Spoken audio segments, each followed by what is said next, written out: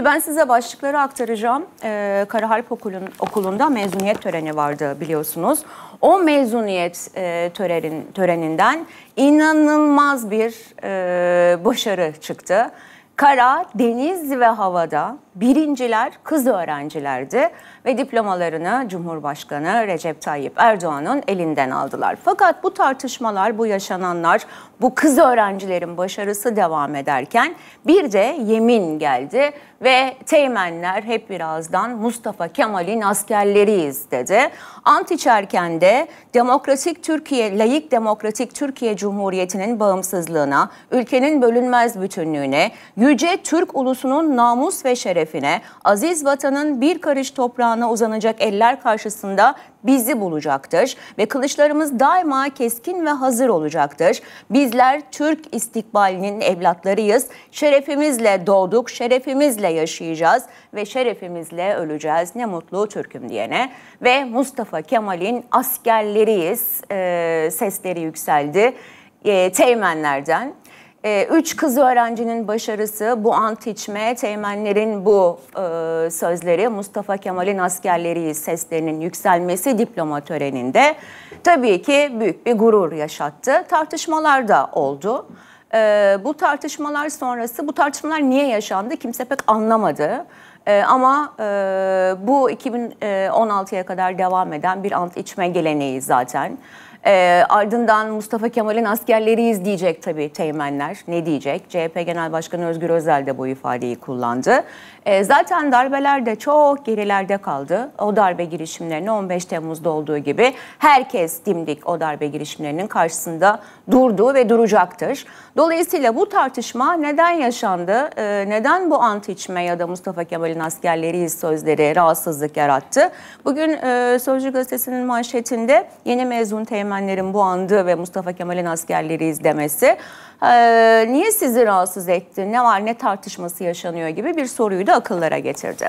Şimdi bakacağız bu ant içmeyi, Mustafa Kemal'in asker diploma töreninden yansıyanları ve o sözleri, o kılıçların nasıl çekildiğini, o gözleri dolduran görüntüleri ekranlarınıza taşıyacağız.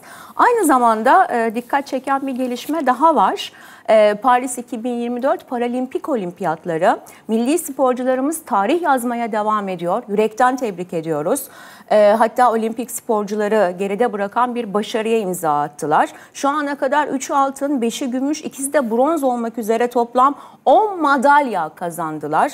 E, e, paralimpik sporcular Olimpik Paris 2024 Olimpiyat oyunlarında mücadele eden sporcularımızda sporcularımızdan madalya sayısında çok öndeler. Olimpik sporcular Paris 2024'te 3'ü gümüş, 5'i bronz olmak üzere 8 madalya kazanmıştı. 8 Eylül'de sona erecek Paralimpik Olimpiyatlarda ise şimdiye kadar 3 altın, 5'i gümüş, ikisi de bronz. Toplam 10 madalya kazanılmış durumda. Altın madalyalar da var. Atletizm branşında erkekler 100 metrede milli sporcu Serkan Yıldırım mesela mesela altın, altın madalya kazandı. Öznur Cüre girdi. Önemli. Kadınlar e, makaralı yayda altın madalya kazandı. Paralimpik olimpiya, e, oyunlar şampiyonu oldu ve şampiyonluk sonrası da gözyaşlarını tutamadı kimse gibi. E, ve e, Osman Aşkın Bak Spor Bakanı da kendisini tebrik etti. 16 yıl sonra Türkiye'ye paralimpik oyunlarda altın madalya kazandıran bir isimdi. Şimdi e, bir yandan da Cumhurbaşkanı Erdoğan'ın yetkileri genişliyor mu? Cumhurbaşkanı yardımcısı ve bakanlar dışında e, TÜİK başkan yardımcılarını, vali yardımcılarını, emniyet müdürlerine e, ve kaymakamları Cumhurbaşkanı Erdoğan direkt atayacak. Yetkiler bu yönde gelişiyor mu? Bir bu tartışma konusu var. Bir de bunun dışında ee, bu yangınları biz İzmir'de 249 noktada yangın çıktı Karşıyaka'dan başlayarak.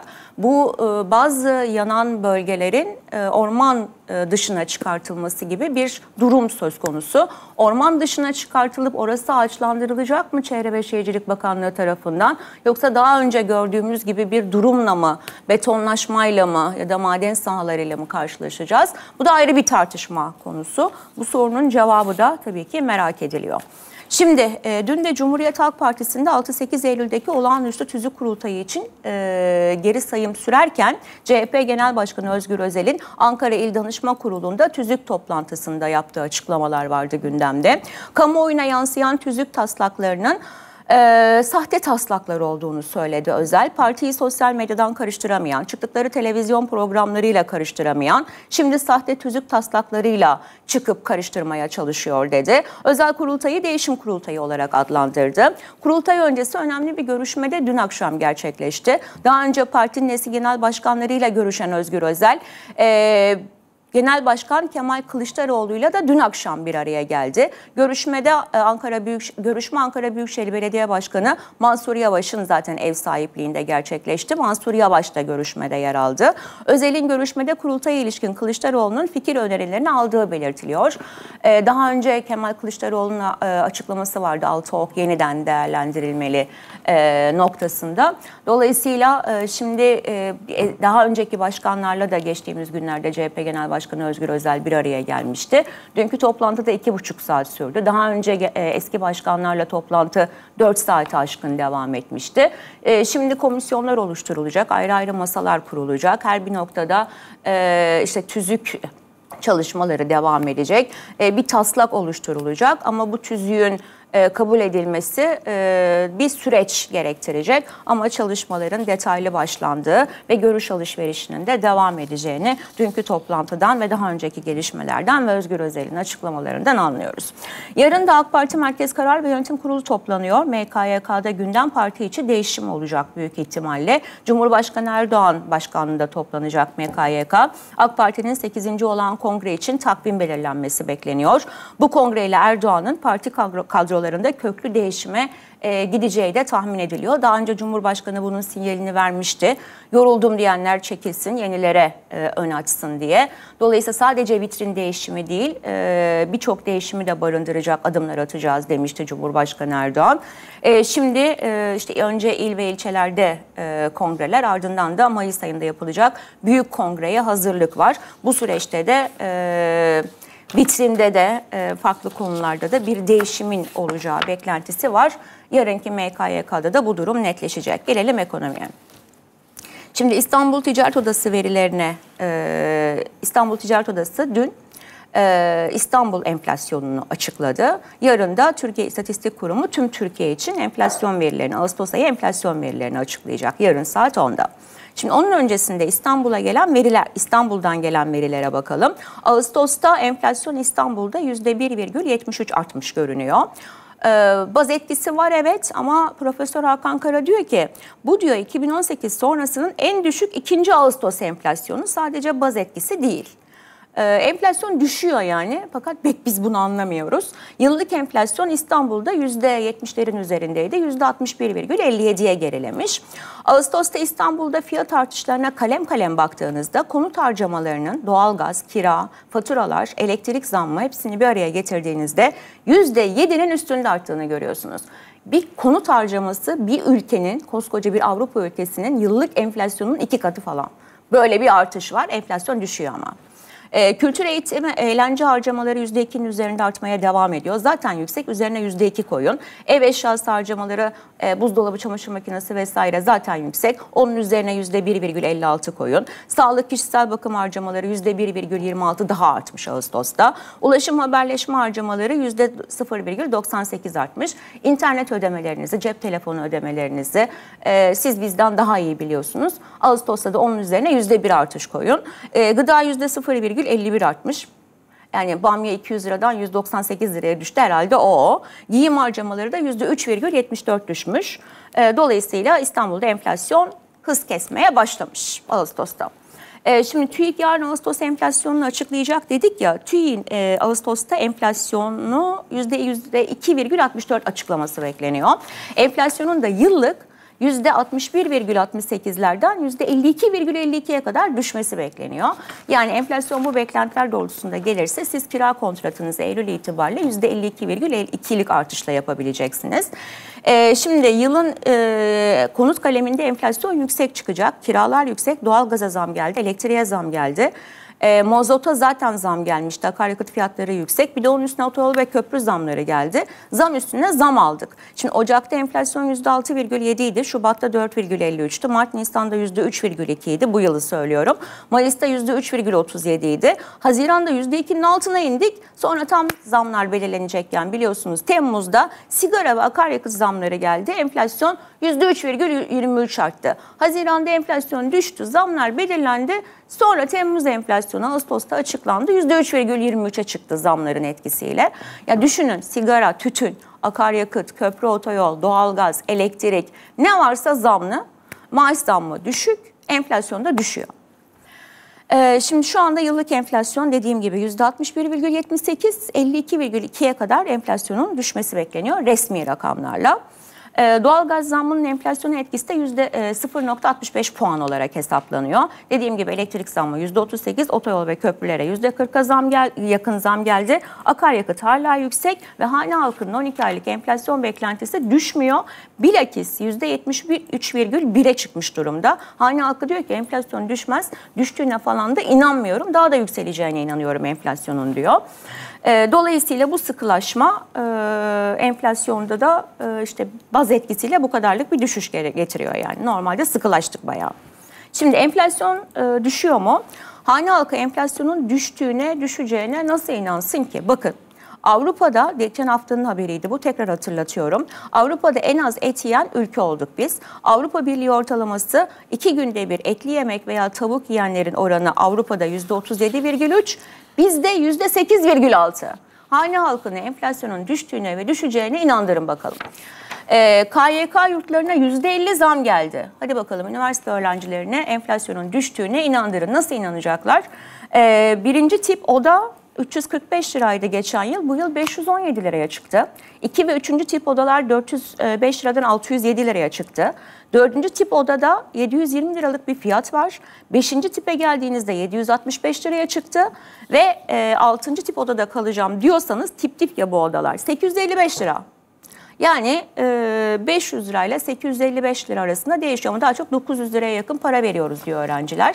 Kuzey Kıbrıs Türk Cumhuriyeti yurt ücreti de 1125 liraya çıktı 750 liradan. Bir de depozito var. Eylül ayında 855 lira depozito için 685 lira ya, e, Eylül'de yatak için 855 lira ödenecek. Depozito için de 685 lira fark ödenecek. Öğrenciler bunu da bu ay içinde yatırmak zorundalar. E, daha yurda adım attı. E, bu çocuk ne yiyecek, ne içecek, ne yapacak, nasıl kitap alacak, nasıl ulaşımına gidip gelecek. Hadi yurt olmadı nasıl ev tutacak, yurt oldu bu paraları verecek. Öğrenciler, üniversite öğrencilerine enflasyonun düştüğüne nasıl inandıracaksınız? Sorumuz bu. İlkokul ve lise ortaokul öğrencilerini hadi nasıl inandıracaksınız enflasyonun düştüğüne? E, üç, e, okul alışverişi yani e, insanlar çıkıyor okul alışverişi için fiyatlara bakıyor. Eyvah diyor. İhtiyaç olan kalemleri alsanız en az en ucuz 100. Defter tanesi 50 lirayla 90 lira arasında değişiyor. Kalemlikler var ya bu kalemlikler 200, 290, 300, 400 öyle gidiyor. Okul çantası 750 ile 2000 lira arasında değişip duruyor. Beslenme çantası 450-550 lira. Bir de bunun suluğu var. Daha buna e, kırtasiye malzemeleri, defter, kalem, silgi, kalem, tıraş, işte ihtiyaçlar, suluk falan diye ekleyin. 7 bin lira, 7-8 bin liraya ulaşıyor. E, bir de buna formasını, çorabını, e, ayakkabısını vesairesini, diğer ihtiyaçlarını, eşofmanını ekleyin. Okula başla. Bir de kayıt ücreti alıyorlar. Okuldan çıkıyorsunuz zaten bir veriyorsunuz paraları. Sonra bir de alışverişe gidiyorsunuz. Bir de orada veriyorsunuz. Daha bunun servisi vesairesi beslenme çantası var. Hadi bakalım inanın, inandırın velileri, öğrencileri enflasyonun düştüğüne. Şimdi beslenme çantasının e, maliyeti e, geçen yıl 770 liraydı aylık. Bu yıl bugün Sözcü gazetesinde Sayın Başçı'nın haberi 2944 liraya ulaşıyor. Yani 3000 liraya dayanıyor beslenme çantasını hazırlamak. Öğrencinin beslenme çantasına giren ürünlerin fiyatı bir yılda dörde katlandı. Geçen yıl öğrencinin bir aylık beslenmesi için 770 lira yatıyordu yetiyordu. Şimdi ürünler %282 zamlandı. Beslenme e, masrafı 2944 liraya yükseldi.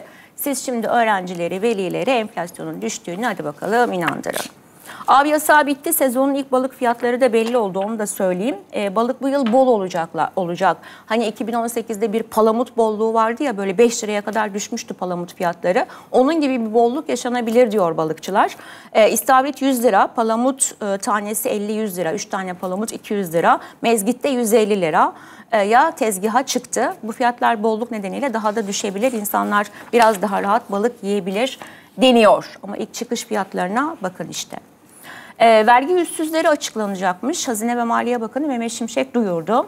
E, ee, 5 milyon lira ve üzerinde vergi borcu ve cezası bulunan mükelleflerin isimlerini kamuoyuyla paylaşacağız dedi. Vergi yüzsüzü listelerinde isminin yer almasını istemeyenlere de Eylül sonuna kadar zaman tanıyoruz ifadesini kullandı. Biliyorsunuz e, kira geliri olup beyanname vermeyen 1,5 milyon kişi vardı. 700 bin kişi hala gelmedi demişti Hazine ve Maliye Bakanı Mehmet Şimşek. Onlara ceza bildirimleri ve çağrılar gitti demişti. Ee, böyle böyle 5 e, milyon lira üzerine daha yüksek vergi borçları olanlar var. Vergi borcu bildirilenler var. Deprem bölgesi dışında vergi borcunu ödemeyenler Eylül sonuna kadar süre tanındı. Ödemezlerse, bu çağrıya yanıt vermezlerse vergi yüzsüzleri olarak ilan edilecekler. Hem vergi dairelerinde hem de gelir idaresinin internet sitelerinde iki ayrı iki ayrı bölüm olarak, iki ayrı liste olarak vergi yüzsüzleri açıklanacak. Şimdi konutta yatırımın geri dönüşü kısalıyor. Hürriyette yer alan bir haberde bu. İlginç bir haber. E, bu kiraların yüksek olduğu anlamına geliyor. Şimdi ev alıyorsunuz. Bu evin e, kira geliriyle geri dönüşü ne, ne kadar zamanda olur? Bu bir hani şeydir, e, bak, baktığımız bir veridir. Şimdi e, konut fiyatlarında reel gerileme sürüyor ama kiralarda aynı oranda düşüş yok. Hatta artış var. Yatırımın da geri dönüş süresi kiralar yüksek kalınca kısalıyor.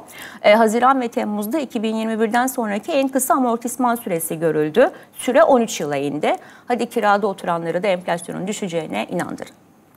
İkinci çeyrek büyüme verileri bugün açıklanacak. E, 2024'te büyüme %3.35 bekleniyor. İkinci çeyrekte de %3,2'lik bir büyüme beklentisi var.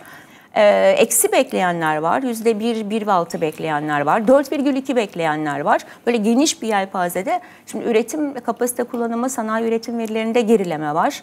Büyümede ciddi bir fren var. Kongortato ilanlarını kapanan şirketlere, karşılıksız çekleri, e, işte tüketici kredi, e, kredi kartı, e, ticari kredilerdeki durumu biliyoruz. Dolayısıyla büyümedeki yavaşlamayla ikinci çeyrek verilerine bunun nasıl yansıyacağını takip edeceğiz. Ama biz yüzde 5, 7, 10 büyüdüğümüz zamanlarda biz büyümediğimiz için artık büyüme verileri de çok anlamlı değil bence. Ama bakacağız onda bakalım durumumuz ne olmuş diye. Yani yüzde 5,7 büyüdük ilk çeyrekte. Ee, geçen yıl yüzde 4'ün üzerinde büyümeyle kapattık. Ee, şimdi biz bunu hissettik ve biz büyüdük mü yani geçen yıl 4,5 büyümüşüz. İlk çeyrekte %5,7 büyümüşüz. Hangi biriniz büyüdü sorun kendinize. E şimdi bir de bunun altında bir büyümeyle halimiz ne olacak ancak onu tartışabiliriz yani. E, bu veriler işsizliği artırır mı? O da ayrı bir konu. Şimdi ben bugün bir soru soracağım aynı zamanda piyasalara ilişkin. E, o da merak ettiğiniz bir konu biliyorum. E, şimdi TL'de değer kaybı faiz indirimini nasıl etkiler diye bir soru. Bu Ekonomi Gazetesi e, yer al. BBC e, bunu değerlendirmiş. Ekonomi gazetesinde de yorumlar var. Şimdi dolar 34 lirayı aştı. Euro da 38 liranın üzeri görüldü. TL yılbaşından bu yana dolar ve euro karşısında %15'ten fazla değer kaybetti. Şimdi e, şirketler kredi darboğazını aşmak için biliyorsunuz döviz kredisine de yönelmişti. Böyle de bir durum var. Şimdi döviz kur korumalı mevduatta e, döviz e, noktasında süre uzatıldı. Yani dövizden TL'ye geçersek geçer e, geçilirse mevcut kurdan e, bir bozdurum yapılacak. Dolayısıyla dövizden geçiş için tanınan haklarda kur korumalı mevduatta uzamaya gidildi. Ama bir yandan da Merkez Bankası'nın 4 milyar dolar en az sattığını görüyoruz son böyle haftalarda Ağustos ayında. Bir yandan da kurda dövizde yükseliş var. Hani bu biraz serbest bırakıldı ihracatçı için mi yoksa e, işte tekrar dövize talep mi var? Şimdi şöyle bir durum var. Faizde bir ciddi bir çelişki var. Yani carry trade üzerinden e, faiz büyüme ve durgunluk tasviri yaptığımızda gerçek enflasyon açıklananın kabaca bir kat üzerinde diyelim. E, siz dövizinizi bozuyorsunuz, faize yatırıyorsunuz. Tekrar döviz aldığınızda %10-15 kazançla geri dönüyorsunuz dövize. Şimdi böyle bir ortamda faizi artırsan dövizden dönenlere ek faiz geliri kazandırıyorsun. Büyüme düşüyor, işsizlik artıyor, bir darboğaz oluyor. Faizi indirsen bunlar tekrar dövize dönüyor, kur yukarı çıkıyor, Merkez Bankası rezervleri düşüyor, enflasyon yükselişe geçiyor. Hiç kıpırdamadan dursan ekonomiyi iyice durgunluğa itiyorsun. Acaba para politikası bunun arasında böyle sıkıştı mı? E, güven konusu da çok önemli. Merke, e, Hazine ve Maliye Bakanı istifa etti tartışmalarının yarattığı etkiyi de gördünüz. Ciddi bir güven de oturmamış. E, bu durumda faiz indirimlerine Ekim-Kasım'da başlayabilir mi Merkez Bankası? Faiz indirimlerine başlarsa ne olur? Niye para politikası böyle bir sıkışmışlığın içine girdi? Doktor Mahfi Eğilmez bir Çin atasözünü hatırlatıyor. Bin doğru bir yanlışı düzeltemiyor. Değil mi? Düzelmiyor. Olmuyor yani. Ee, Türkiye bu arada gelir dağılımı uçurumu da büyüyor. Ya faizi indirsem bir türlü, çıkarsam bir türlü, ihracatçı ağlıyor, faizi indirsem döviz artıyor, bu sefer enflasyon yükseliyor, rezervlerin eriyor. Tam bir böyle sıkışmışlık. O sıkışmışlık nasıl aşılır? Sorun bu. Kurda yükseliş devam eder mi? Bu e, biraz serbest mi bırakıldı yoksa farklı bir nedeni mi var? Niye Merkez Bankası'nın rezervleri 4 milyar dolar eridi? Güven nasıl sağlanacak? Bunlar piyasalar için soracağım sorular bu, bugün. Türkiye lüks saatte zengin ülkeleri sollamış. Çünkü gelir dağılımı uçurumu büyümüş. Çünkü birilerine serbest transferi yapmışız yıllardır. Harcayan harcıyor. Saate dünyanın parasını vermiş. İsviçre saatlerine 200 milyon dolar ödedik. Lüks saatlere yönelik bu oksijenin haberiydi bu. 7 ayda 170 milyon İsviçre frangı harcanmış lüks saate. Ee, biz e, bu gücümüzle ve bu e, saat aşkımızla, harcamamızla Katar, Kanada, Avusturya, İrlanda, Kuveyt, Belçika, Bahreyn gibi kişi başına milli geliri oldukça yüksek ülkelere de bayağı bir sollamışız. Yani zenginimizin zenginliğine bakın. Harcayacak yer bulamıyor yani. İstanbul'da taşınmanın maliyeti de 150 bin. Şimdi ne yapıyorsunuz? E, kira e, depozito ödüyorsunuz. E, üç e, kira bedeli kadar depozito istiyor ev sahibi. Bir ya da iki kira alıyorlar. Genelde iki kira alıyorlar. E, sonra emlakçıya para veriyorsunuz. Emlak komisyonu. İşte kira 25 bin oldu diyelim. Depozito 50 bin lira. Emlakçı komisyonu 30 bin lira. Nakliye 25-30 bin lira. En düşüğünden aldım ben yine. Boya tadilat en az 30 bin lira. Ee, yine Hürriyet gazetesinde çıktı bu haber. Böyle baktığınızda en ucuzu bu. 150-200 bin liraya eve adım atıyorsunuz. Zaten evlenenlerin sayısı da düşmüş. 600-650 bin kişi evlenir yılda Türkiye'de. Şimdi 500 bine inmiş. Evlenemiyor ki insanlar. Bir de evlenenleri düşünün, evlenecekleri düşünün. Daha eve adım attınız bismillah 200 bin lira gitti. Bakan Işıkhan da diyor ki bakın son uyarım. Çalışma Sosyal Güvenlik Bakanı Vedat Işıkhan, belediyelerin 96 milyarlık SGK borcu seçimden sonra 120 milyar liraya yükseldi. Ödemiyorsunuz diyor. Hani diyor bizden borç aldınız diyor. İzmir Belediyesi'nin de borcu yüksek diyor. 5 yılda 885 kat artmış. Son uyarım diyor. Emeklimizi size ezdirmem diyor. Emeklinin SGK borçları ödenseymiş emeklinin durumu iyi olurmuş yani. Öyle diyor bakan. Euro bölgesi enflasyonunda sert düşüş. Amerika'da enflasyon düştü biliyorsunuz. Euro bölgesinde de %2,2'ye geriledi. Avrupa Merkez Bankası'nın bu ay faiz indirimine gitmesinin de önü açıldı. 12 Eylül'de Avrupa Merkez Bankası faiz kararı verecek. Amerikan Merkez Bankası FED 18 Eylül'de faiz kararı verecek. Bu hafta da tarım dışı istihdam verileri açıklanacak. Eylül'de çeyrek puan indirim bekleyenler kesin. %33'ü de yarım puan da olabilir diyor. E, yıl sonuna kadar da FED'den 1 puan bekleniyor. Avrupa'da faiz indirecek. E, Avrupa'da bazı ülkelerin enflasyonunu söylüyorum. Belçika %4,5, Estonya %3,4, Hollanda %3,3, Slovakya %3,2, İspanya %2,4, Fransa 2,2 ve dikkat Almanya %2. Hepsi enflasyonu düşürmeyi hemen hemen başarmışlar.